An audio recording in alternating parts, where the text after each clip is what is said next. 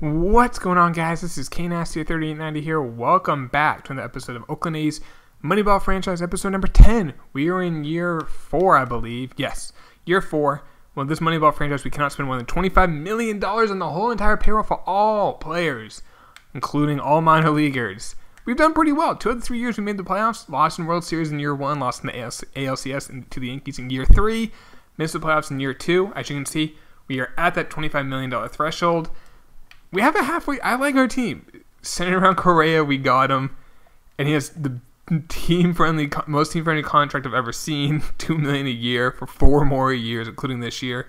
A good bench, a very young bullpen. It's gonna be. I don't know. We'll see how the bullpen does the rotation. I like Klein's the youngster, 21 years old. How do we get? Actually, I want to say how do we get Klein? I don't even remember getting. Did we draft him? We did. Round two of the 2020 draft. A 2020 draft, and this is year 2021, by the way. yes, this is year 2021, correct? Yes, so last year's draft, last year's draft, you have three players on the bigs from that draft Klein, a starter, and then two closers that we got. we'll see how they do. Let's get into the season, boys. I, I, I don't know. I'm, I, I think our offense should do well. I'm worried about our bullpen. It's young. It could be great. It could be terrible. So far, we're off to a halfway decent start, and I feel like our run differential could be just crazy bad because we'll lose some games big time because the bullpen is just terrible and they just give us no chance. But holy cow, we are 38 and 23. We're at the draft. We're tied with the damn Astros. But we are doing very well in regards to what I mean both basically it's the Blue Jays are also a wild card team because one of these will be winning the division. So we have a nice comfortable lead over the wild card at least. How is our team doing? Pelletier's hitting 300. That's nice to see. Three home runs only, 379 on base, a 408 slugging. He's not going to be a power hitter, but he should get on base, and that's what he's doing. Two war, which is good. Peralta's only hitting 252. I'm going to move on from him soon. Correa is Correa, 321, 11 home runs his wins above replacement is already 3.5. That's good. Santana has 20 home runs the first week of June. Jeez, dude. Mejia has hit 241, 10 home runs. Not too, too bad. Average, which was a little higher. Nick Senzel's hit 289.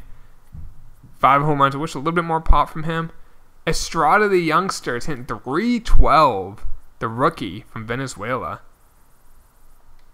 Joe Dugganson, 297. Again, he's not a power hitter, so he only has four home runs. He's getting on base. I'm probably going to move him to bat second.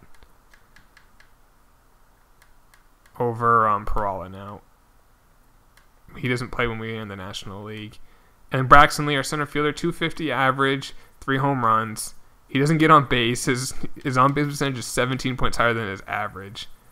But he's only making $100,000. Pitching, Montgomery's been a stud. 2.57 ERA. Jake Junis has struggled at 4.2. Stripling's been great again, 2.78. He's off and on, off and on for about three years.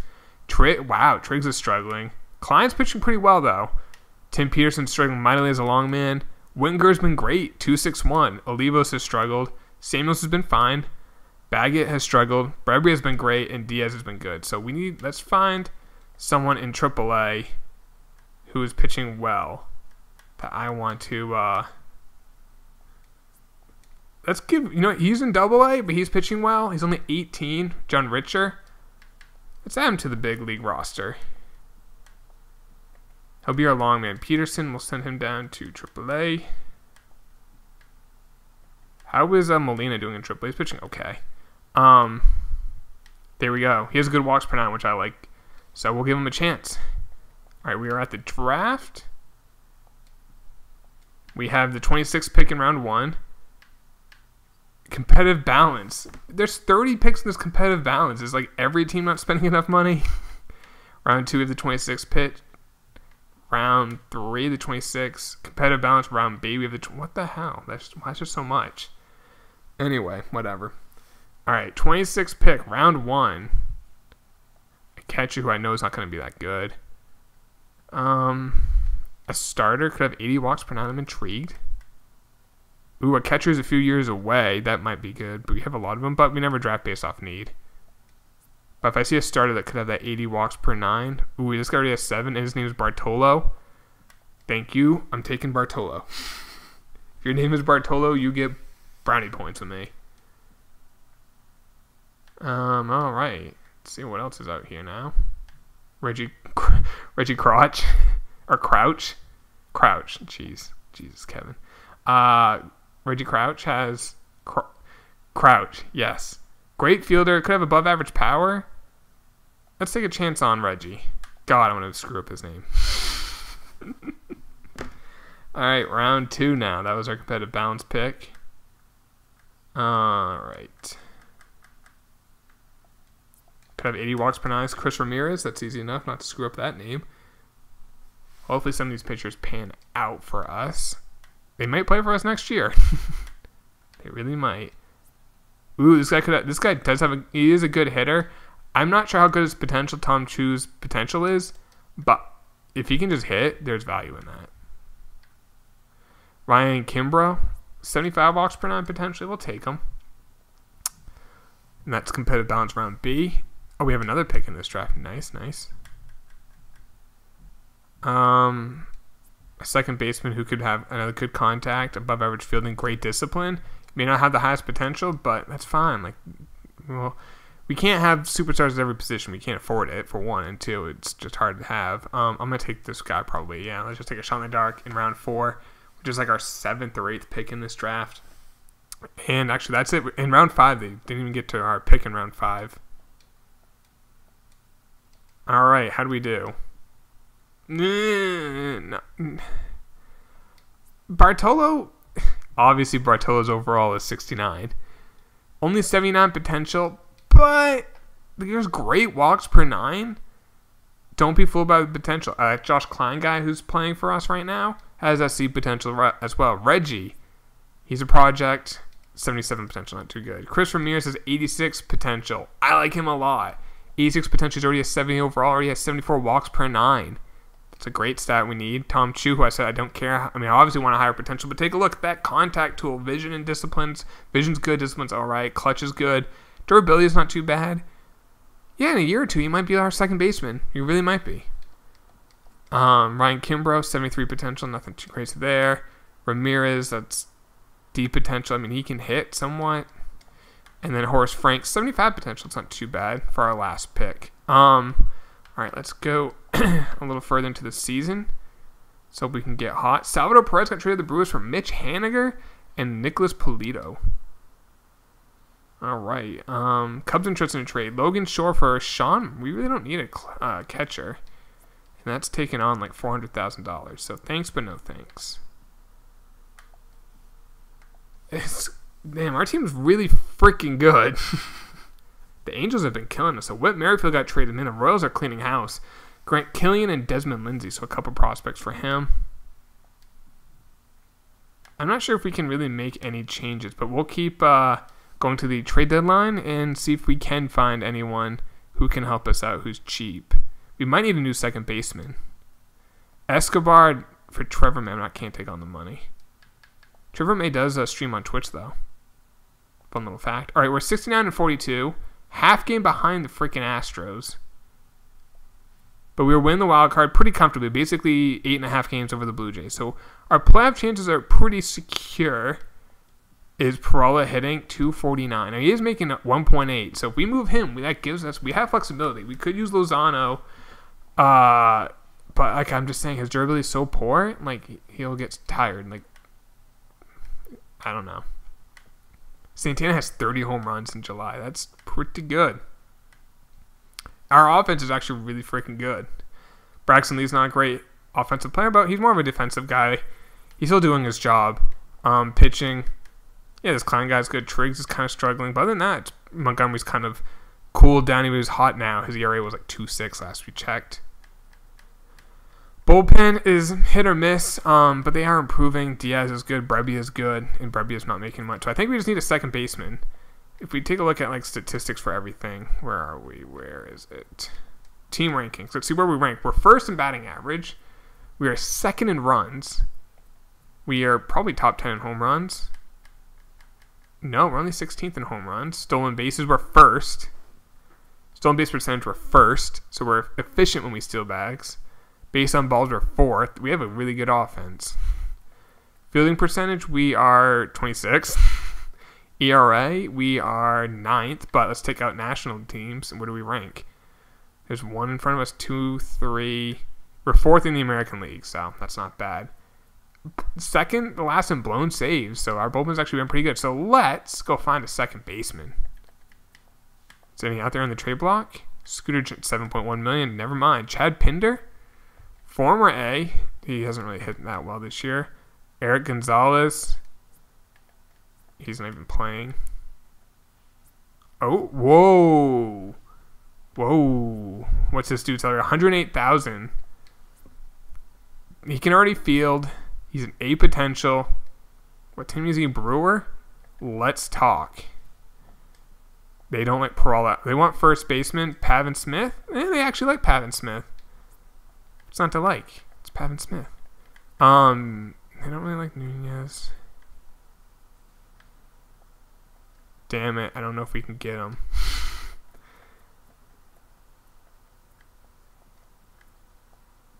I mean, I would include Alvarez for him because this kid can. The kid looks like a stud. I'm, oh, I'm not Duggan. Um. Okay, that's not gonna work. You know what? Let's just um. Let's just do the old manual trade. So we can take on basically uh, right around two million dollars back on a second baseman. Um, let's see what's out there. 1.83 Dilson Herrera. He shouldn't get on base He gets on base a ton. His 252 average, but a 379 on base. What's his wins above replacement so far, if you're curious? Two.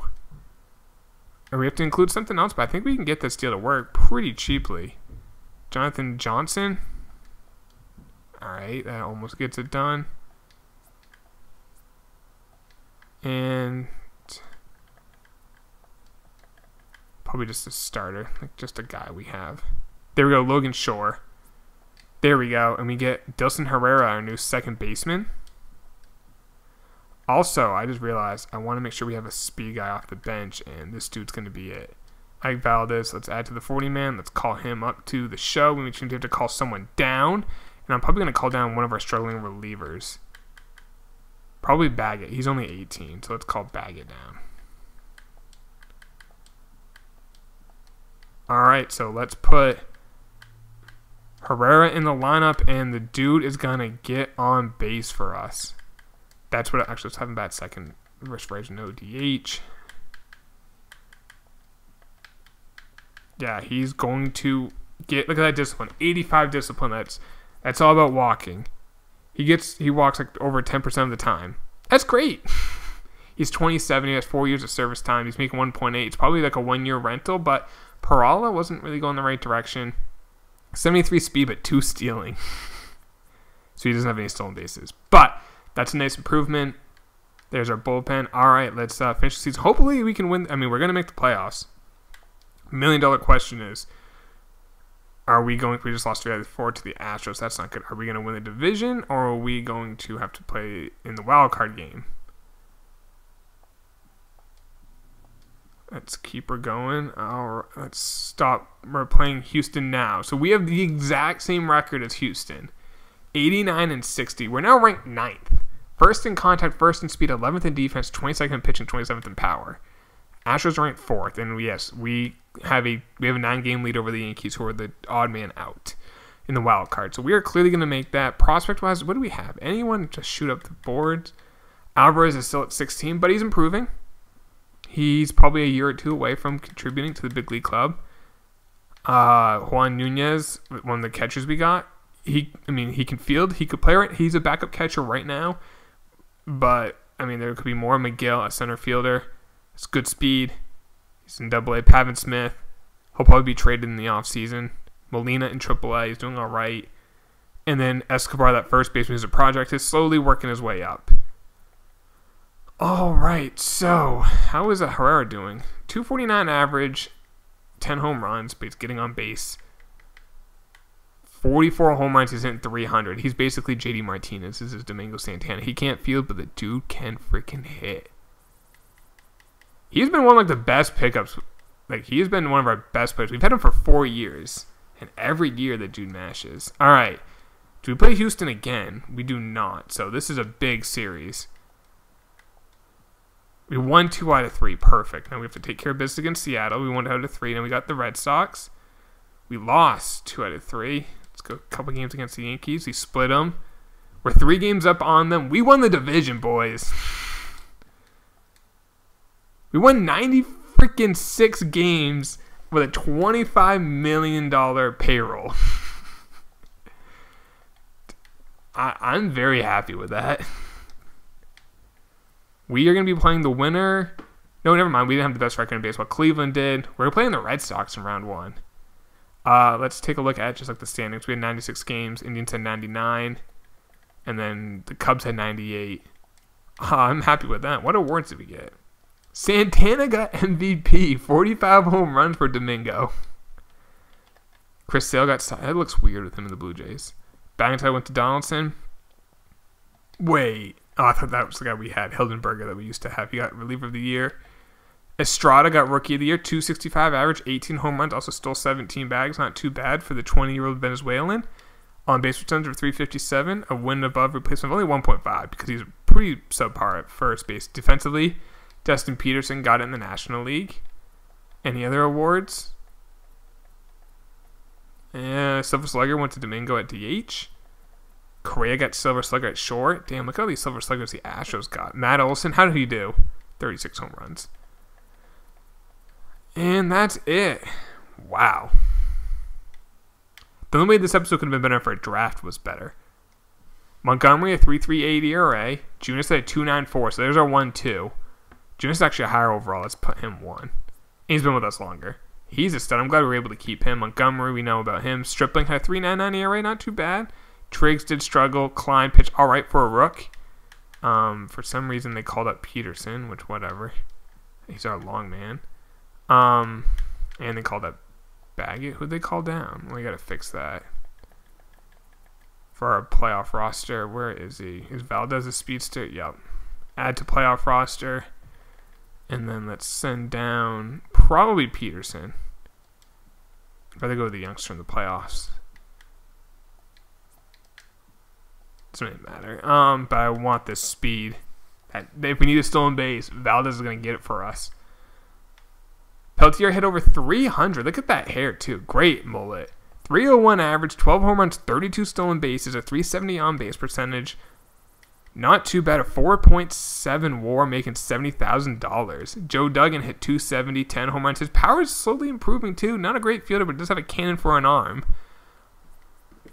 Uh, 16 stolen bases. There's a 1 2. Not much power there. His war was basically even. Correa, then 323, 33 home runs. Santana, 294, 45 home runs. Mejia, 253, 23 home runs. We're not going to be able to keep him after this year. However, we can get basically whatever we want in return for this kid. Nick Senzel, 287, 19 home runs. Pretty much what he did the year before. Estrada, we saw him already. Herrera, only at 253 on base. I mean, average, but 365 on base, so not too bad. And he plays above average fielding. And then Braxton Lee hit nine home runs, 249 average. Doesn't really get on base, but he plays good defense because that. his WAR was 2.2. So that shows the value of his defense. All in all, I mean, it's what's going to carry us are the middle of the order. If they can hit, I like our chances in the playoffs. That will be the next episode, boys. Though that was yeah, that was a good season, boys. That was a freaking good season. I'll see you in the playoffs. Hopefully, we can get this get this job done. Win a win a, World Series with a payroll under 25 million. I'm just laughing thinking about it. I'll see you then, boys. Take it easy. Peace.